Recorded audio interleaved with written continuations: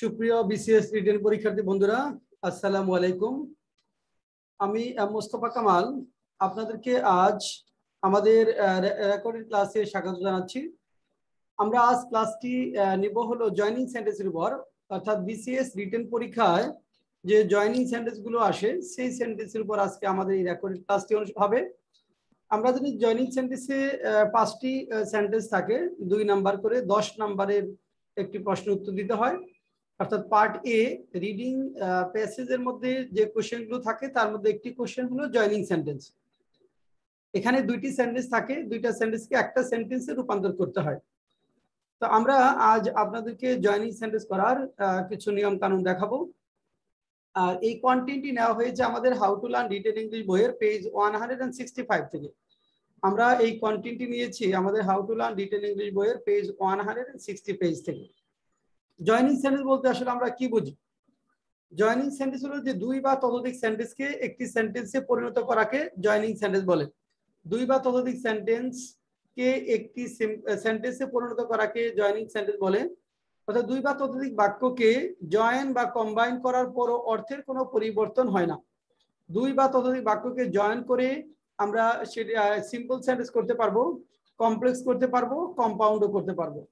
আমি আবারও বলছি, আমরা কি কি করতে পারব? জয়েন করে আমরা infinitive participle gerund noun in apposition এগুলো ব্যবহার করে দুইটা সেন্টেন্সকে একটি সিম্পল সেন্টেন্সে আমরা কম্বাইন করতে পারব বা জয়েন করতে পারব।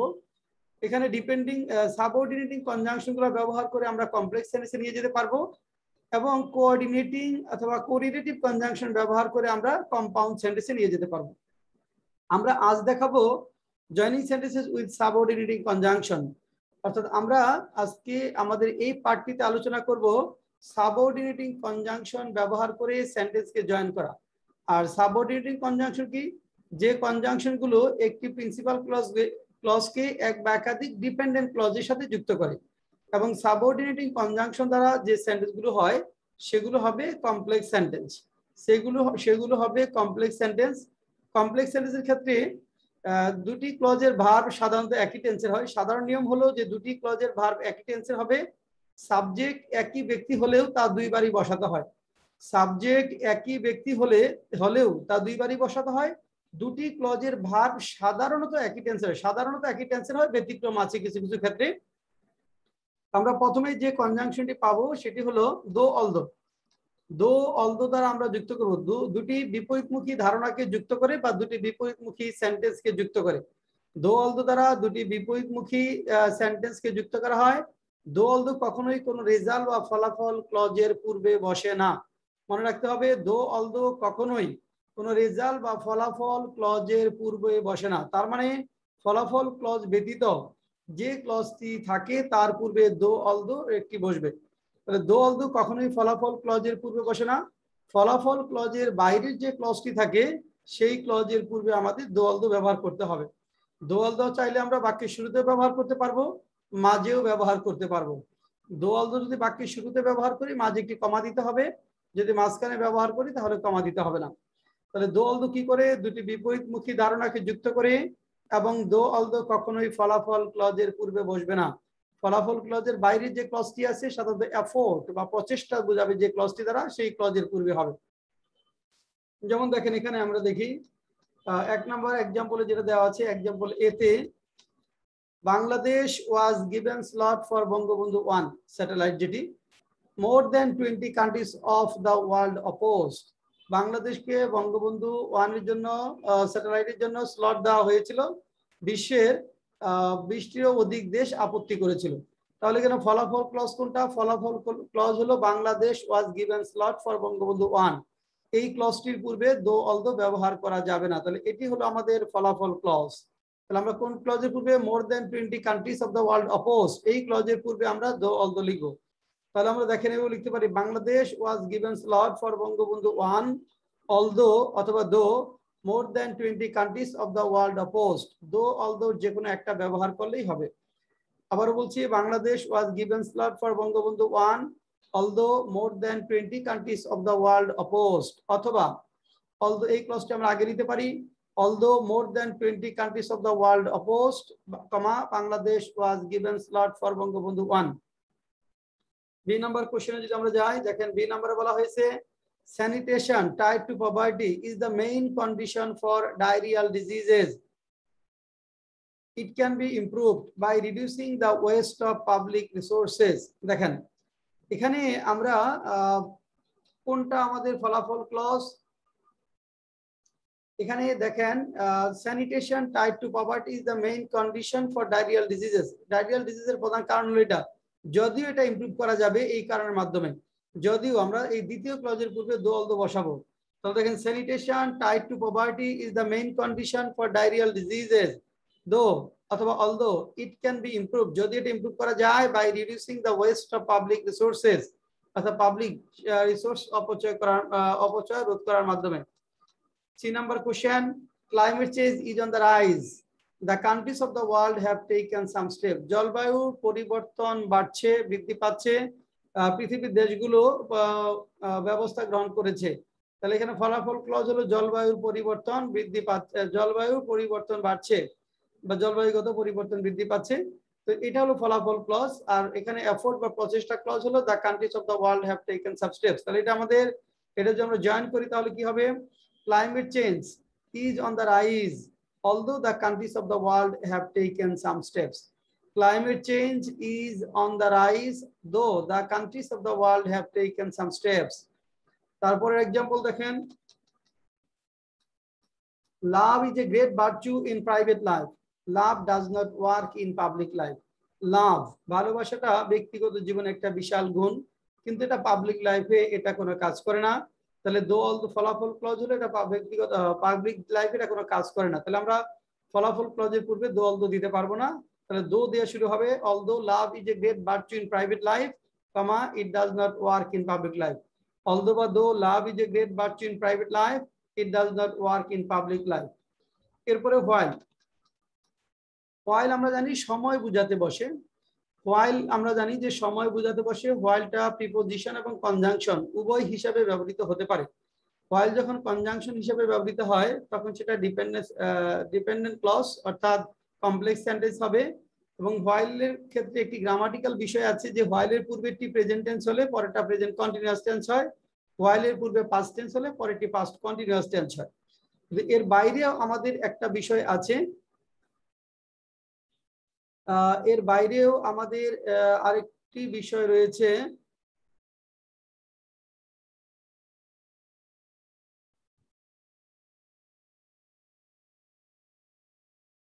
দেখেন আমরা হ্যাঁ।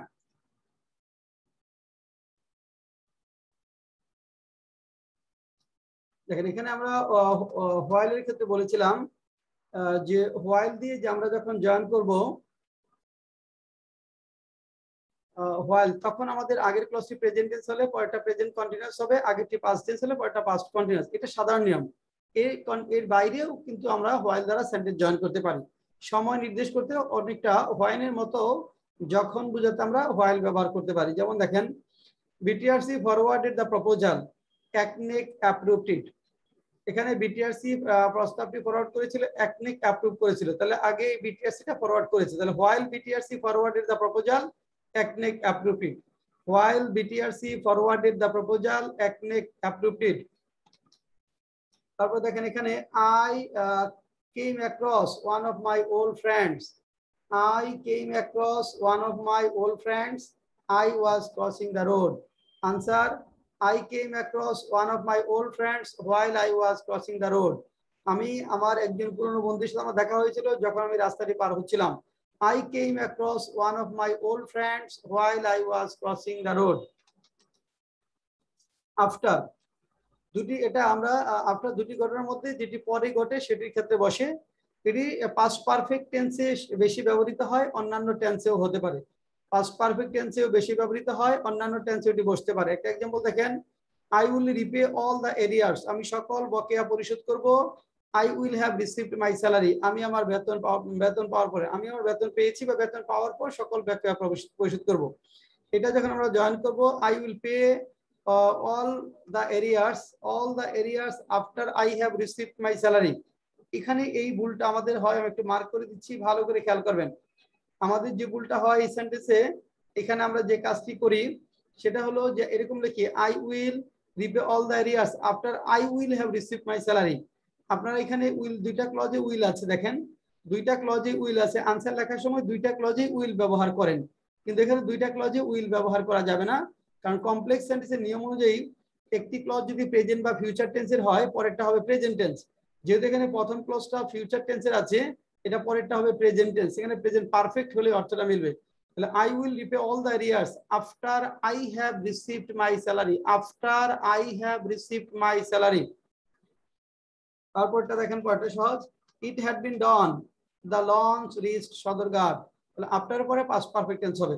তাহলে the launch reached Sadarghat after it had been done the launch reached Sadarghat after it had been done এরপরে সিনস এস বিকজ এর মাধ্যমে rule four since as because এর মাধ্যমে সিনস এস বিকজ কি কারণ ক্লজের পূর্বে সিনস এস বিকজ বসে। দুটি ক্লজের মধ্যে যে ক্লজটি দ্বারা কারণ বোঝায় বা যে বাক্যটি দ্বারা কারণ বোঝায়, সেই কারণ বাক্যের পূর্বে আমরা সিনস এস বিকজ ব্যবহার করি। কারণ বাক্যের পূর্বে সিনস এস বিকজ ব্যবহৃত হয়। সেই কারণ বাক্যটি বাক্যের শুরুতেও হতে পারে মাঝেও বসতে পারে। যেমন দেখেন global warming may cause rise in the sea level Bangladesh should raise voice in international forum to get compensation global warming may cause rise in the sea level অর্থাৎ বৈশ্বিক উষ্ণতা সমুদ্রের পানি সমুদ্রের উচ্চতা বাড়াতে পারে। সমুদ্রের পৃষ্ঠের উচ্চতা বাড়াতে পারে। বাংলাদেশে কি করা উচিত? ইন্টারন্যাশনাল আন্তর্জাতিক ফোরামে এখানে ক্ষতিপূরণ দাবি করা উচিত। তাহলে কারণ ক্লজ কোনটা? Warming may cause rise in the sea level since as because তাহলে এখানে আমরা লিখব সিন্স অথবা আমরা অ্যাজ দিতে পারব সিন্স অথবা অ্যাজ দুইটা যে কোনো একটা। Warming may cause rise in the sea level Bangladesh should raise voice in international forum to get compensation since অথবা as global warming may cause rise in the sea level Bangladesh should raise voice in international forum to get এখানে বিকজের ক্ষেত্রে আপনি একটু মনে রাখবেন বিকজটা সাধারণত বাক্যের মাঝে ব্যবহৃত হয়। বিকজটা সাধারণত আমাদের বাক্যের মাঝে ব্যবহৃত হয়, সাধারণত বাক্যের শুরুতে বিকজটা ব্যবহৃত হয় না। বিকজ ইউজ করলে মাঝে ব্যবহার করবেন। তারপরে দেখেন, এখানে যেটা আছে there will be a train in every four minutes the commuters there will be a train in every four minutes the commuters will not have to wait for train for long hours এটা হলো আমাদের এক নম্বর বাক্য। এটা হলো আমাদের এক number বাক্য, আর পরেরটা হলো আমাদের দুই নাম্বার বাক্য। দ্য কমিউটার্স মানে যাত্রীদেরকে দীর্ঘ সময় অপেক্ষা করতে হবে না। The commuters will not have to wait for train for long hour যেহেতু ওদের চার মিনিট পর পর ট্রেন থাকবে, যাত্রীদেরকে ঘণ্টার পর ঘণ্টা ট্রেনের জন্য অপেক্ষা করতে হবে না। তো জয়েন করলে since since there will be train in every four minutes the commuters will not have to wait for train for long hours. Since there will be a train in every four minutes, the commuters will not have to wait for train for long hours. See number question. The landscape was dangerous and infested with wild animals. Most of the tourists dare not enter there.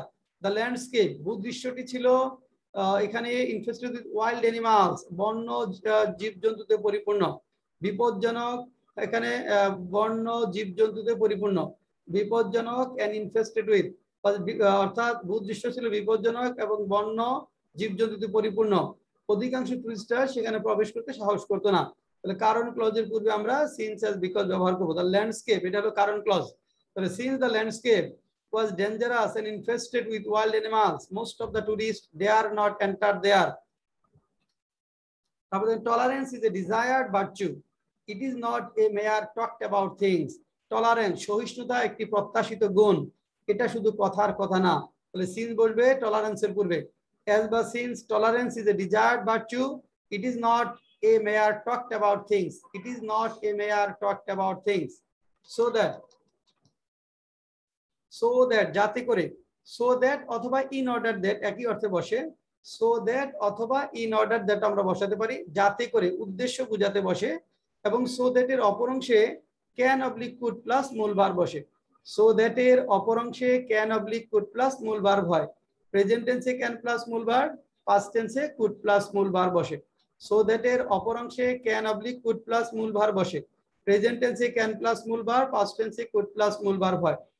সাধারণত বাক্যে want to বা wanted to থাকলে আমরা so that দ্বারা যুক্ত করি যখন দেখবেন যে একটি বাক্যে বিশেষ করে দ্বিতীয় সেন্টেন্সে ওয়ান টু বা ওয়ান্টেড টু আছে, তখন সোদের দ্বারা যুক্ত করতে হয়। ওয়ান টু বা ওয়ান্টেড টু থাকলে।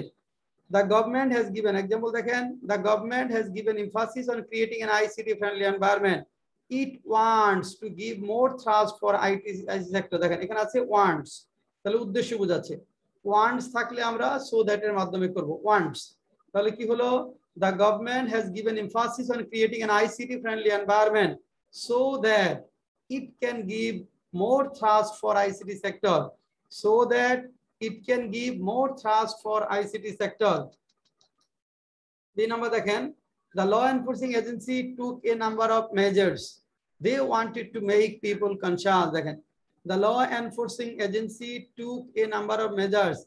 They wanted to make people conscious. They wanted আছে এটা so that দ্বারা করব আমরা এখানে আছে wanted তাহলে the law enforcing agency took a number of measures so that they could make people conscious so that they could make past tense A could হবে the law enforcing agency took a number of measures so that they could make people conscious এরপর দেখেন so dash dash that এতটাই এতটাই যে so dash dash that এতটাই dash dash যে এটি একটি নেগেটিভ স্ট্রাকচার এটি দ্বারা নেগেটিভ অর্থ প্রকাশ করে দ্যাট এর পরের অংশটুকু দ্বারা নেগেটিভ অর্থ প্রকাশ করে দ্যাট এর পরের অংশটুকু দ্বারা নেগেটিভ অর্থ প্রকাশ করে। তাই আমাদের যেটা করতে হবে, এরপরে কি করতে হবে? দ্যাট এর পরে সাবজেক্ট তারপর ক্যান নট অথবা কুড নট প্লাস মূল বার বসাতে হবে। দ্যাট এর পরে সাবজেক্ট তারপর ক্যান নট বা কুড নট প্লাস মূল বার প্রেজেন্ট টেন্সে ক্যান নট প্লাস মূল বার পাস্ট টেন্সে কুড নট প্লাস মূল বার হবে। যেমন দেখেন the passage translation from English to Bangla was very hard we could not understand it এটা যদি করি the passage translation from English to Bangla was so hard that we could not understand it. এখানে একটা জিনিস মনে রাখতে হবে, সোটা কোথায় বসাবো? দেখেন, was so হার্ড অর্থাৎ অ্যাডজেক্টিভের পূর্বে আমাদের সোটা হবে। হার্ডটা হলো অ্যাডজেক্টিভ তার পূর্বে। আর অ্যাডজেক্টিভের পরে হবে দ্যাট অর্থাৎ অ্যাডজেক্টিভের পূর্বে হবে সো আর অ্যাডজেক্টিভের পরে হবে দ্যাট দ্যাটের পরে সাবজেক্ট তারপর ক্যান নট বা কুড নট প্লাস মূল ভার্ব তারপর দেখেন some people of the country are very unconscious and illiterate we can not make them conscious about covid nineteen তাহলে এখানে দেখেন সাম অফ হ্যাঁ সাম হ্যাঁ some people of the country দেখেন এখানে some people of the country some people of the country are so unconscious and illiterate that we cannot make them conscious present tense আছে cannot হবে some people of the country are so unconscious and illiterate that we cannot make them conscious তারপর দেখেন lest নইলে বা তা না হলে least নইলে বা তা না হলে লেস্ট বা পিছে ভয় হয় এমন অর্থ দেয়। লেস্ট নইলে বা তা না হলে বা পিছে ভয় হয়। লেস্ট যুক্ত সেন্টেন্সের অপর অংশে কি বসে? শুড প্লাস মূল ভার সকল টেন্সে শুড প্লাস মূল ভার বসে। লেস্ট যুক্ত সেন্টেন্সের অপর অংশে সকল টেন্সে শুড প্লাস মূল বার বসে। তবে প্যাসিভ হলে শুড বি প্লাস বার পিপি হয়। তবে প্যাসিভ হলে শুড বি প্লাস বার পিপি বসে। দেখেন এক নম্বর example walk fast you should miss the train walk fast দ্রুত হাঁটো তুমি ট্রেনটি মিস করতে পারো তাহলে কি হবে walk fast lest you should miss the train walk fast lest you should miss the train B number The old man was walking carefully. He should fall off and get hurt. Past tense আছে. The old man was walking carefully lest he should fall off and get hurt. The old man was walking carefully lest he should fall off and get hurt.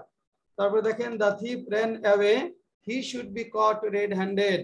এখানে দেখেন passive ফর্মে আছে should be আসছে এটা passive ফর্মে আছে চুটি দৌড়ে পালিয়ে গেল তাকে কি করে হাতে নাতে ধরা হতো The thief ran away lest he should be caught red-handed. The thief ran away lest he should be caught red-handed. এরপরে হলো রিলেটিভ প্রোনাউনের মাধ্যমে যারা রিলেটিভ প্রোনাউনটা জানেন না, একটু রিলেটিভ প্রোনাউন পড়ে নিতে হবে, তারপর এটাতে জয়েন করা শিখতে হবে।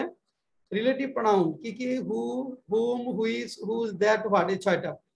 এখানে দেখেন we voted for a candidate in the election couple of years ago he won a landslide victory আমরা দুই, তিন বছর আগে একজন নেতাকে ভোট দিয়েছিলাম, তিনি বিপুল ভোটে জয়ী হয়েছিলেন। তাহলে এখানে আমরা দেখেন হুম দিয়ে করতে পারি? The candidate the candidate whom we voted for in the election couple of years ago won a landslide victory the candidate whom we voted for in the election couple of years ago won a landslide victory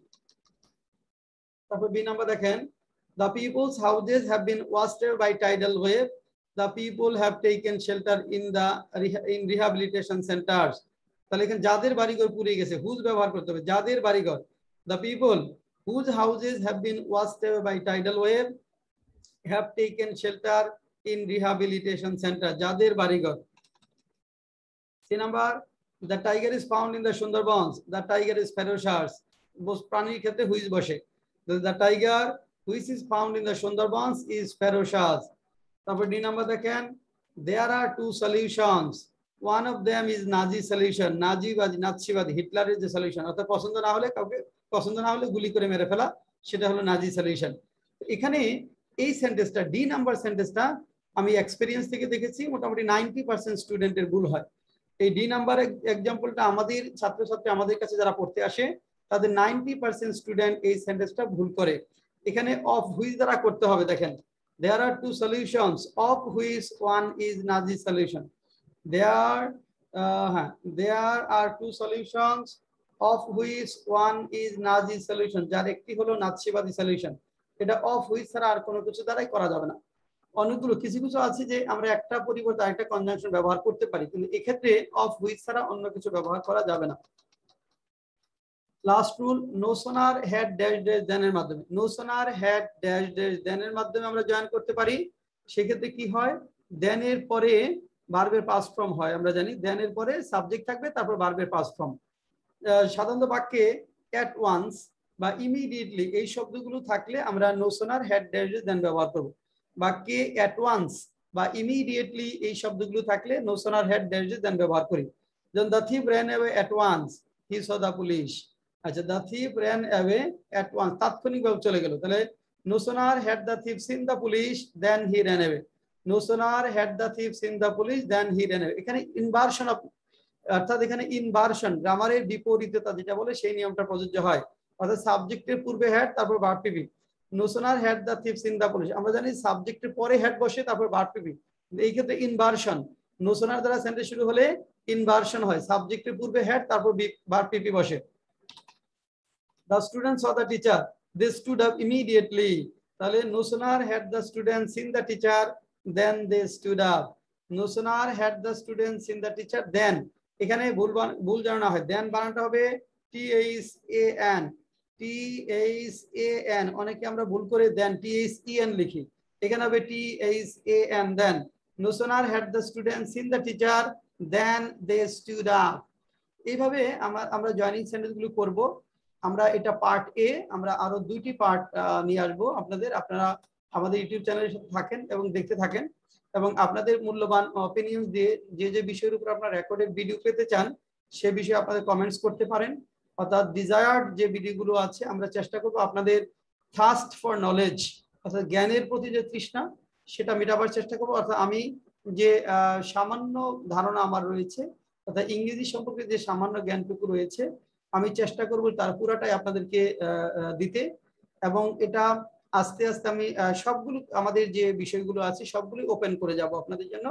অর্থাৎ আমার চেষ্টা থাকবে, অর্থাৎ আমি যতটুকু জানি ইংরেজির পুরাটাই এই ইউটিউব চ্যানেলে মানে সম্পূর্ণ ওপেন করে দেবো আস্তে আস্তে। আপনারা ইংরেজির যে কোনো কোয়েরি আমাদেরকে করতে পারেন, যে কোনো কমেন্টসে কোনো কোন বিষয়ের উপর ভিডিও পেতে চান, সে বিষয়ে মতামত ব্যক্ত করতে পারেন। আর আমাদের চ্যানেলটি সাবস্ক্রাইব করে না থাকলে, চ্যানেলটি সাবস্ক্রাইব করে নোটিফিকেশন বাটনটি অন করে রাখলেই আমরা যখনই কোনো ভিডিও নিয়ে আসব, আপনি সাথে সাথে জানতে পারবেন। আজকে এ পর্যন্তই।